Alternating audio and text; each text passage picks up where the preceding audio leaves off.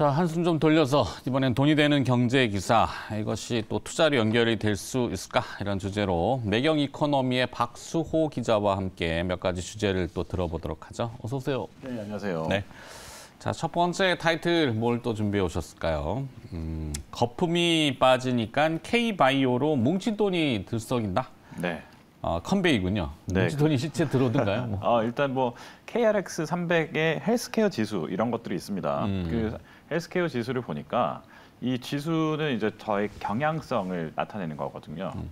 그렇죠. 그래서 원래는 이제 거품이 뭐 굉장히 끼었다 이런 바이오 주식들 이야기들을 굉장히 많이 했지 않습니까? 음. 뭐뭐뭐 바이오 이러면 항상 이제 뭐 거의 어, 에코프로가 상승을 하던 시- 지금 이 시점보다 훨씬 더 어, 강력한 그 상승세를 보였던 몇몇 종목들이 있었는데 지금 또 음. 사실은 회사 지금 뭐 어, 공중 분해되고 이런 회사들도 있었고요. 네. 그런 것들을 생각해 보면 참 거품 아니었냐 이런 생각 많이 했습니다. 그런데 음. 이제 KRX 300 헬스케어 지수를 살펴보면 이 경향성이 다시 좀 일어난다 이런 지수 이런 경향성을 보여준다 이런 이야기를 이번 트렌드에서 잡아낼 수 있어서 저희 매경 이코노미에서 아예 그 커버 스토리로 다루기도 했습니다. 오, 이 내용을 한번 살펴보니까요. 네. 어, KRX 300 헬스케어 지수라는 게 결국 이제 헬스케어와 그 바이오 회사들이 그 포함되어 있는 회사의 경향성을 나타내는 지수입니다. 그래서 이 지수가 1월 달에만 해도 3,200 가까이 됐었는데 3월에는 거의 장중에 2,150. 그러니까 2,150이니까 3,000 넘어가다가 2,150은 거의 그 3분의 2 토막, 3분의 2, 그러니까 3분의 1 정도가 사라졌다 이렇게 볼 수 있는데 그러다가 이제 지금 4월 들어서 2,500까지 지금 올라오고 있거든요. 그러니까 뭉칫돈이 들어온다 이 이야기는 결국 이제 음. 어, KRX 헬스케어 지수가 지금 반등하고 있다. 결국 바이오에 사람들이 이제 투자를 다시 하기 시작하는구나 이렇게 음. 알수 있었습니다. 네. 뭐 개별 기업보다는 ETF 네, 그렇습니다. 예, 네네. 예, 뭉칫돈이 그냥 통으로 사는군요. 네네네 그렇습니다. 네. 음, 오늘 뭐 어제 그 삼성바이오로직스 오늘 아침에 또 저희 브리핑도 좀 했지만 뭐 실적이 나름대로 선방을 그렇죠. 한것 분야를 봤을 때 바이오도 뭐 바이오 대, 나름대로의 이제 실체에 근접한 실적에 근접한 뭐 이렇게 투자 전략들을 꾸리시는 것 같네요. 네, 그렇습니다. 그래서 그 특히 이제 이익을 내는 바이오 회사들 같은 경우는 음. 앞으로도 괜찮을 것이다 이런 음. 이야기를 많이 했습니다. 그래서 이런 이야기를 하다 보니까 그 기술 수출이나 이런 부분들까지 네. 어, 굉장히 좀 괜찮은 회사들이 나타나기 음. 시작했고 전반적으로 기술 수출과 관련돼 있는 건 그러니까 음. 몇 건이냐 뭐 이런 이야기들을 많이 하는데 바이오는 무섭지 않습니까? 한 그렇죠. 한 건이 뭐 1조다 뭐 이런 이야기 아. 하는데 그 올해 1분기에 기술 수출 성과를 보니까 어 1분기에만 8건의 기술 수출이 일어났다. 에이, 그럼 8건 뭐 얼마 되겠어? 했는데 이 금액을 놓고 보면 2조 1,556억 원. 음. 그러니까 전년에 2조 1,740억 원에 비하면 거의 좀 비슷한 수준으로 가고 있죠. 그래서 이런 것들을 보니까 올해는 계약상 비공개 비공개 그러니까 음. 비공개한 수출 사례가 세 건 있고 이런 것들 다 따져 보면 어 그래도 생각보다 선방했네. 그러니까 주가는 어 3분의 1 토막 3분의 2 토막이 났는데 네. 거기에 비해서는 이야 그래도 기술 수출을 하는 거 보니까 앞으로 이게 바닥 아니야 이렇게 생각할 수 있는 거죠. 음, 저 바이오도 산업의 특성상 이제 하나 얻어 걸리면 대박. 이게 참 그게 좀 애매한데. 네네. 음, 물론 그렇게 형성되어 있는 산업 구조다 보니까. 그렇습니다. 네. 기술 수출도 이제 몇 조 단위지만 사실 그 조건을 따져 보면 뭐 마일스톤, 뭐 처음에 이제 선급으로 주는 돈, 뭐 네. 이런 구조가 나눠져 있잖아요. 그렇죠. 파이프라인 뭐 파이프라인에서도 뭐 일상 뭐 일상의 파이프라인만 하는 거냐 아니면 또 이상의 파이프라인까지 같이 갖고 하는 거냐 네. 이런 것까지 다 포함하다 보니까 음. 아 저희도 맨날 그 기사를 쓸 때마다 음. 이 파이프라인은 뭐지 뭐 그런 이야기까지 하게 관- 되는데 뭐 이게, 이게 뭐 문, 문어발이죠, 문어발. 네네네 그 upfront 얼마, 그다음에 이제 milestone 얼마, 뭐 어쩌고 저쩌고 이렇게 해서 네네네. total 얼마인데 네네네 중간에 이제 반납하는 경우도 생기니까. 그렇죠. 네. 그래서 그게 조금 어렵죠. 반면에 이제 그 기술 수출을 하는 기업도 있는데 또 그 재무적으로는 견디다 못해서 그렇죠. 결국에는 어 속된 말로 나자빠지는 기업들이 있잖아요. 이 상장 폐지 위기에 놓인 기업도 있다고요. 예, 일단 이 바이오 기업들이 적자 상태에도 상장을 하는 경우가 많습니다. 왜냐하면 네. 이게 기술이 좋아서 기술 특례. 예, 기술 특례 어, 상장 바이오 기업 이런 것들이 이제 그 정부에서도 많이 밀어주고 그랬기 때문에 음. 이 어, 업체들이 많이 이제 상장을 했는데 문제는 2005년부터 사실 기술 특례 상장 제도가 어, 도입이 됐는데 이렇게 해서 지금 현재 현재까지 이 기술 특례로 상장한 어, 바이오 회사는 103곳 이 정도 아 굉장히 많습니다. 그래서 이런데 지난해 말 기준으로 영업이익을 기록한 곳이 12곳밖에 안 되더라. 음. 그러니까 아직도 2005년부터 했던 그 기술 특례 상장에서 어, 상장은 성공했으나 12곳만 영업이익을 낸다. 그러면 지금 현재의 혹한기 그러니까 이 증권사 에서 증권가에서 지금 이제 영업이익 내는 곳만 지금 좀 많이 부각된다고 했을 때 12, 12곳밖에 안 되면 나머지 90곳은 뭐 어떻게 된 거냐 음. 살펴보니까 좀 이제 안타까운 것이 있죠. 인트로메딕, 뭐 이노시스, 음. 셀리버리 이런 것은 이제 상장 폐지가 됐고요. 거, 그러니까 어. 거래 정지가 됐고요. 지금 현재 네네네. 이런 그 코스닥 성장성 특례 상장 1호 셀리버리 역시 차, 뭐 초반에는 엄청나게 괜찮았는데 이게 이제 2021년 1월 한때 10만 원을 넘어갔었습니다. 음. 근데 이 어, 셀리버리마저도 뭐 하락률이 90%가 넘었다. 그러니까 거의 뭐 그 롤러코스터를 타고 내려오는 그런 어, 종목이었다. 이런 이야기를 하고 있어서 이 그러면 좀 기술 특례 상장 자체가 좀 문제가 있는 거 아니냐 그러는데 이거 자체는 어쨌든 그 산업의 특성상 좀 어, 밀어줘야 된다. 그렇지만 기술 특례 상장 그 자체가 대상 기업 기술력을 보장해 주는 것처럼 받아들여지면서 기업과 투자자 모두 어, 피해를 보는 상황이 연출된 것만은 어, 자명하다. 이런 것들이 이제 그 증권가의 어, 그 분석입니다. 네. 거기 이제 자본 조달 말씀하신 지금 12 전환 사채하고 네네네. 이제 어, 워런트가 붙어 있는 네.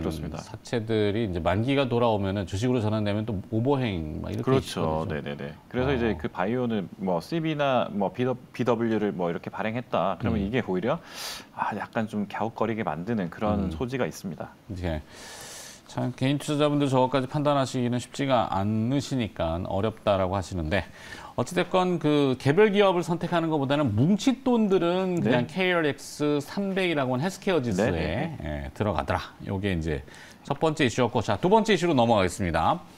두 번째 이슈는 자 중국 갈등 암초 만난 호텔주 그죠? 네. 참 아. 어려, 어려운 문제인데 네, 참. 저희 그 후배들도 중국에 세일즈하러 네, 네, 네. 상장 기업들 이제 그렇죠. 홍보하러 가잖아요. 네, 네, 요즘 네.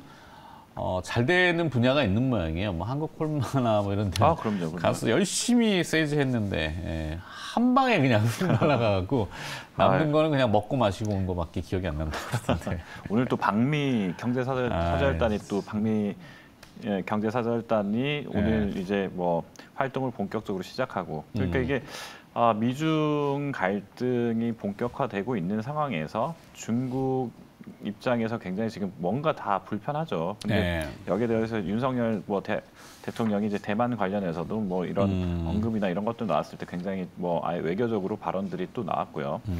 이런 이제 중국의 일련의 그 과정들 때문에 그 뭐 코로나 때도 사실은 좀 시끄럽지 않습니까? 그래서 네. 지금도 단체 관광객이 지금 들어오지 못하고 있는데 그래서 제2의 사드가 뭐 네. 어떻게 된다 이런 우려감들이 또 이 입을 타고 버- 전파되면은 뭐 네. 일파만파가 된단 말이죠. 그렇습니다. 주식 기- 그래서 가장 이제 조금 어, 애매한 부분이 호텔 면세점, 뭐 카지노 이런 쪽이겠죠. 그 음. 아무래도 중국의 대 어, 대규모 사절단 아니면 중국의 대규모 관광객이 한국에 들어왔을 때 음. 호텔, 뭐 카지노 이런 거 잘 될 것이다 이렇게 해서 사실은 12월 달 작년 12월 달만 해도 막 호텔 주가 많이 오르고 그렇죠. 그랬었잖아요. 기대감을 좀 네네네. 뭐 중국 reopening 네네네. 더불어서 이제 한한령이 완화되네 이러면서 뭐 게임주의 판호가 네. 나오고 네네네. 막 그랬잖아요.